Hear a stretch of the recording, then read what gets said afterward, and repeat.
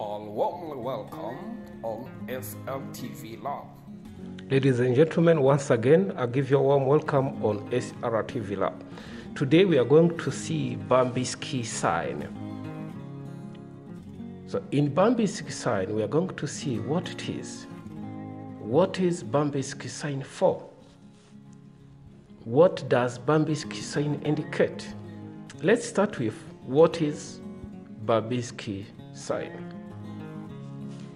Actually, the Babinski reflex or Babinski sign or plantar reflex is a foot reflex that happens naturally. You get it? It happens naturally in what kind of people? In babies and young children until they are about six months to two years. I hope you get it. It is natural in babies and young children until they are about six months to two years old. Older than two years is another story.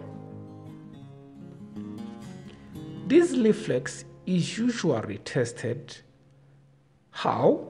By stroking the sole of the foot in which way you can see on this image you select from back or closer to the heel laterally or at the side.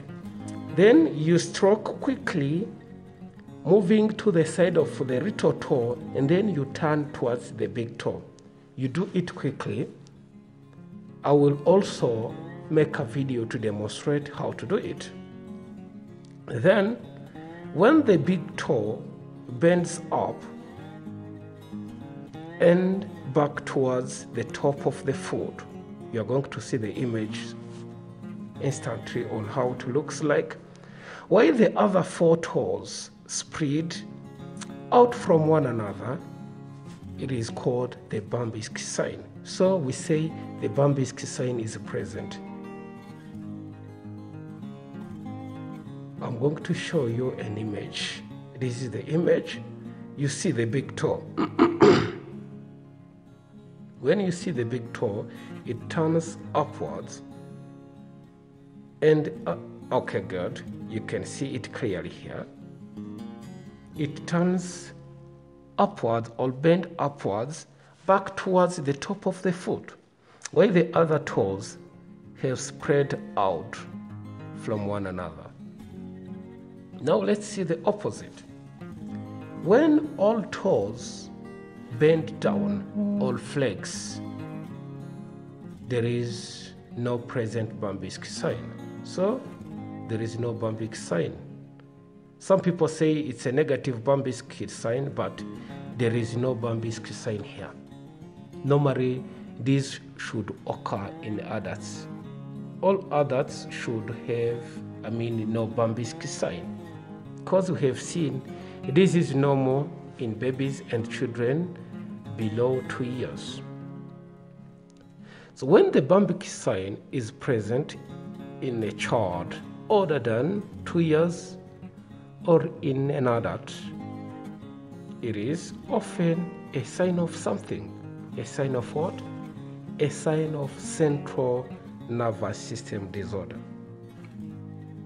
Let's see what kind of disorders you get it? You know what is the central nervous system? We are going to see it in a while, but you understand. You can see the image. There is the brain. Brain is the top part of the central nervous system. Down the brain, we see the spinal cord. This part that passes through the vertebral column. If there is any problem with this part of the nervous system, you do what? You do the Babinski sign test. Is that clear? Remember, the Babinski is present in babies and children older lesser than two years. So, you know, the central nervous system, let's talk about it in a few moments. It includes the brain and the spinal cord. So the disorder of these parts may include amyotrophic lateral sclerosis. It may include brain tumor or brain injury.